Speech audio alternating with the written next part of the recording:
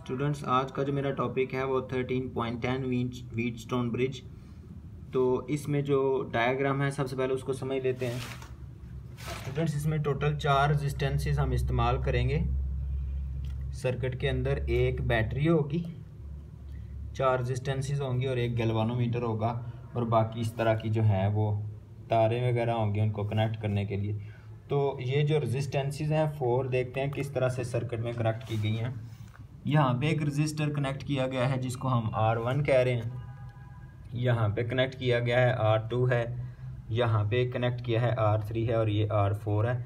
और ये जो है, यहाँ से तारें निकल रही हैं और ये सारी तारों के ज़रिए कनेक्ट की गई हैं। केबल हैं, यहाँ इन, इनके अंदर से करंट पास करती है। एक गैल्वानोमीटर है, यहाँ पे जो कि पॉइंट बी और डी के दरमियान कनेक्ट किया गया है। और फिर पॉइंट सी और ए के दरमियान एक बैटरी लगा दी गई है। सेल जिस तरह का ये सेल है, ये लगा दिया गया है। जिसका पॉजिटिव टर्मिनल इधर है नेगेटिव टर्मिनल इधर है, यहाँ पे एक स्विच लगा दिया गया यानी कि अगर ऐसे है तो करंट पास नहीं करेगी, जो ही हम इसको जोड़ देंगे तो स्विच समझ लो कि ऑन हो जाएगा और करंट पास करना शुरू कर देगी। तो ये हमारे पास सर्किट डायग्राम है।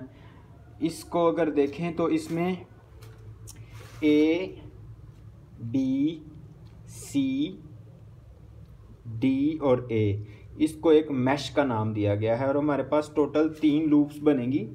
पहले वाली है ए डी बी और ए पहली लूप का नाम है ए डी बी और ए दूसरे वाली जो लूप है वो है डी सी बी डी यानी कि डी सी बी और डी और जो तीसरे वाली लूप है, वो है ए डी सी ए यानी कि A D C and then A ये तीन लूप्स हम बन रही हैं तो हमने जो करंट है, इन तीनों लूप्स में, वो क्लॉकवाइज कंसीडर किया गया है। वो कब होगा, जब हम स्विच क्लोज कर देंगे और इस सेल की वजह से करंट फ्लो करना शुरू कर देगा।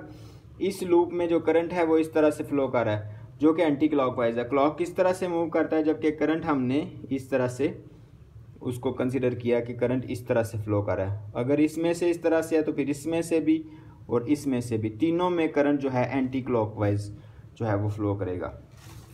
अब स्टूडेंट्स ये वीट स्टोन ब्रिज की डायग्राम है। Wheatstone bridge basically unknown resistance को मालूम करने के लिए इस्तेमाल किया जाता है। अब इसमें जो है किर्च ऑफ़ सेकेंड लॉ को इस्तेमाल करते हुए हम अपनी अननोन रेजिस्टेंस के लिए एक फार्मूला डिराइव करेंगे। जो ही ये बटन स्विच ऑन किया जाता है, ये तारें आपस में जोड़ दी जाती हैं तो क्या होगा? करंट उसमें से फ्लो करना शुरू कर देगा। जो ही इसमें से करंट फ्लो करना शुरू कर देगा तो हमने जो है देखिए ये स्विच ऑन किया गया है, और करंट इस सेल के पॉजिटिव टर्मिनल से इधर मूव कर रहा है, और वो करंट इस तरह से मूव करेगा। तो पहले हम फ़र्स्ट लूप को कंसिडर करते हैं। इसमें हमने कंसिडर किया है कि ये एंटी क्लॉकवाइज है। तो ये जो करंट है फ़र्स्ट लूप फ़र्स्ट लूप क्या बनेगा? ए डी बी ए सबसे पहले हम इसको सॉल्व करेंगे। तो स्टूडेंट्स करंट की डायरेक्शन आप देखें। करंट ऐसे फ्लो कर रहा है। इधर जाएगा और फिर इधर आएगा और फिर इधर आएगा। फिर इधर जाएगा, फिर इधर आएगा, फिर इधर आएगा, फिर इधर जाएगा, फिर इधर आएगा। यानी कि इस तरह से इस लूप के अंदर वो फ्लो कर रहा है। तो स्टूडेंट्स देखते हैं किच ऑफ़ लॉ अप्लाई करते हैं। किच ऑफ़ लॉ होता है the sum of the potential changes in a close loop is equal to zero तो ये हो जाएगा करंट आई वन है आर वन है तो हो जाएगा minus I one R one उसके बाद इसमें आ जाए। आई वन देखें, इधर ऐसे फ्लो कर रहा था और इधर से नीचे है। लेकिन एक और करंट इसमें से फ्लो कर रहा है, वो है आई थ्री आई थ्री कैसे चल रहा है? आई थ्री इस तरह से चलता है, ऊपर जाता है, फिर इधर जाएगा इधर जाएगा, और फिर इधर से इधर आएगा, और फिर ऐसे ये मूव करेगा। आई थ्री तो आई वन नीचे है आई थ्री ऊपर है तो हमने क्या करना है? I one minus I three इस्तेमाल करेंगे आर थ्री के लिए। क्यों आई वन आई थ्री इस्तेमाल कर रहे हैं? जो लूप हम सॉल्व कर रहे हैं, उसका जो करंट है, वो बड़ा कंसीडर करेंगे। अब एक करंट नीचे है, दूसरा करंट ऊपर है, ये ऑपोजिट है, और इनका जो डिफरेंस कैलकुलेट करना पड़ेगा। डिफरेंस कैलकुलेट करने के लिए जो लूप हम कंसिडर किया है, जिसको हम सॉल्व कर रहे हैं, उसका जो करंट है, उसमें से दूसरे को हम माइनस करेंगे। I one minus I three into R three हो जाएगा। उसके बाद इधर से मूव करता हुआ करंट इधर आएगा। इसमें है जी आई वन ऊपर है, जबकि इस साइड पे अगर देखें तो आई टू नीचे है। आई टू इस तरह से फ्लो कर रहा है। ऊपर जाएगा, फिर नीचे आएगा, फिर इधर जाएगा, फिर ऊपर जाएगा, फिर नीचे आएगा, जबकि आई वन गलवानोमीटर के अंदर से ऊपर है और आई टू नीचे है। तो यहाँ फिर क्या हो जाएगा? I one minus I two R G जो है रेजिस्टेंस ऑफ़ द गलवानोमीटर है। ये पहली इक्वेशन है जो आपकी बुक के हिसाब से बनी है। अब मैं आपको आपकी बुक के ऊपर से ये इक्वेशन दिखाता हूँ।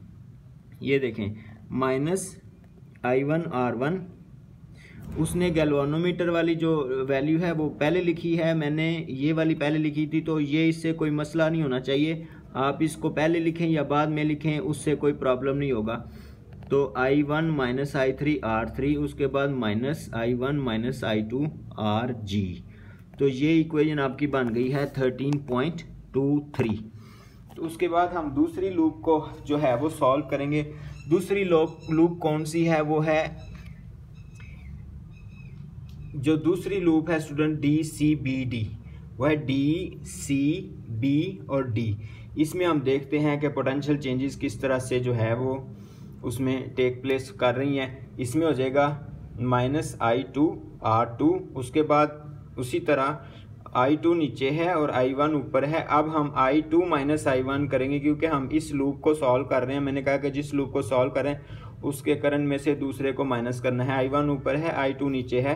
तो आपने इस वक्त I two minus I one करके आर जी लिख देना उसके बाद बारी आ जाती है इसकी। इसमें से फिर दो करंट्स फ्लो कर रही हैं। एक आई टू इधर है और आई थ्री जो है, इधर ऊपर जाती थी, नीचे आती। आई टू इधर है आई थ्री इधर है। तो आपने I two minus I three into R four कर देना तो ये जो है आपकी बुक के ऊपर ये जो इक्वेशन लिखी गई है minus I two R two minus I two I three R four minus I two I one R G equal to zero तो ये दो इक्वेजने हैं। अब स्टूडेंट्स इसमें जो पॉइंट नोट करने वाला है balanced condition of the galvanometer क्या होती है? इस गैल्वानोमीटर के अंदर से जब करंट पास करती है तो इसकी नीडल जो है डिफ्लेक्शन शो करती है, या इधर या इधर। तो अगर I1 की वजह से डिफ्लेक्शन इधर है तो I2 की वजह से डिफ्लेक्शन इधर होगी, क्योंकि I1 ऊपर है और I2 नीचे है। तो स्टूडेंट्स अगर I1 और I2 बराबर हो जाएँ, जिसको हम कहते हैं बैलेंस कंडीशन उस वक्त जो है, इसकी जो डिफ्लेक्शन है, ना इधर होगी, ना इधर होगी, बल्कि ये ठहर जाएगी ज़ीरो पे। तो इस कंडीशन को कहते हैं बैलेंस कंडीशन जब ये अचीव हो जाएगी आई वन आई टू के बराबर हो जाएगा। तो फिर अगर इन इक्वेशंस के अंदर हम आई वन और आई टू को बराबर कर दें, देखें आई वन और आई टू अगर बराबर हो जाएँगे तो ये वाला फैक्टर ज़ीरो हो जाएगा। यानी आई वन की जगह पे आप आई टू पुट कर दो या आई टू की जगह पे आई वन पुट कर दो। I one minus I two ये ज़ीरो हो जाएगा। और इसमें से भी I two minus I one ये भी ज़ीरो हो जाएगा। तो हमारे पास बचेगा क्या? पहले वाले में से बचेगा minus I one, R one और I is equal to minus is equal to I one, I three, R three. ये बचेगा, ये माइनस दूसरी तरफ़ जाके प्लस हो जाएगा और इसमें से बचेगा minus I two, R two, minus I two, R two and then ये वाला फैक्टर जो है, ये बचेगा I two, R three, R four. ये बचेगा। हम कहते हैं जी इसको अब ये आई टू था, मैंने इधर आई वन लिखा है। उसकी वजह ये है कि आई वन आई टू के बराबर है तो कैंसिल हो जाए, इसलिए मैंने आई टू की जगह आई वन लिखा है। आई टू आर टू था ना, लेकिन हमने कहा है आई वन और आई टू बराबर हैं तो इस आई टू की जगह मैंने आई वन लिख दिया। अब इसको इस पे डिवाइड करेंगे minus I one I one से कैंसिल हो जाएगा, और ये वाला जो फैक्टर है, इसमें आई वन है। और ये आई टू चूँकि आई वन के बराबर है तो आई टू आई वन और आई टू चूँकि बराबर हैं, ये कैंसिल हो जाएगा, ये भी कैंसिल हो जाएगा, बचेगा R one over R two R three over R four तो ये हमने ड्राइव करना था। स्टूडेंट्स इस फार्मूले की मदद से हम जो है, वो कैलकुलेट कर सकते हैं अन नॉन रजिस्टेंस अगर हमारे पास तीन रजिस्टेंस जो हैं, वो गिवन है तो चौथी हम फाइंड आउट कर सकते हैं। इस फार्मूले में R one R two R three की वैल्यू अगर रखें तो आर फोर कैलकुलेट की जा सकती है। अगर आर वन आर टू और आर फोर रखें तो आर थ्री कैलकुलेट की जा सकती है। इसी तरह कोई भी तीन वैल्यूज़ आप इसमें रखें तो चौथी कैलकुलेट की जा सकती है। तो अननोन रेजिस्टेंस जो फोर्थ रेजिस्टेंस है, वो कैलकुलेट की जा सकती है। तो यही था हमारा आज का टॉपिक